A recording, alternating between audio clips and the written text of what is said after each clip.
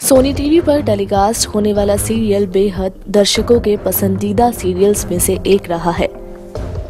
वहीं अब इस सीरियल के फैंस के लिए एक नई खुशखबरी सामने आई है। ये सीरियल सीज़न टू के साथ अपनी धमाकेदार वापसी करने के लिए पूरी तरह से तैयार है। गौरतलब है कि सीज़न वन में जानी मानी एक्ट्रेस जेनिफर विंगेट ने माया मेहरोत्रा का किरदार अदा किया था और उनके अपोजिट नज़र आए थे एक्टर कुशाल टंडन, जिन्होंने अर्जुन का किरदार अदा किया। वहीं हाल ही की रिपोर्ट्स में सीज़न टू से जुड़ी ये जानकारी सामने आई है कि बतौर फीमेल लीड जेनिफर ही माया मल्होत्रा के किरदार में नज़र आएँगी।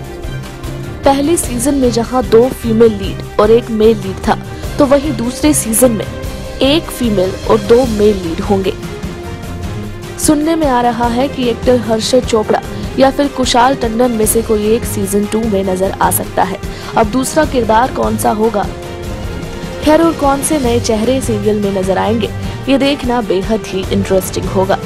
टेलीविज़न जगत से जुड़ी ताज़ा तरीन खबरों के लिए हमारे चैनल को सब्सक्राइब करना ना भूलें। ताकि आप तक पहुँचता रहे हमारा हर लेटेस्ट अपडेट।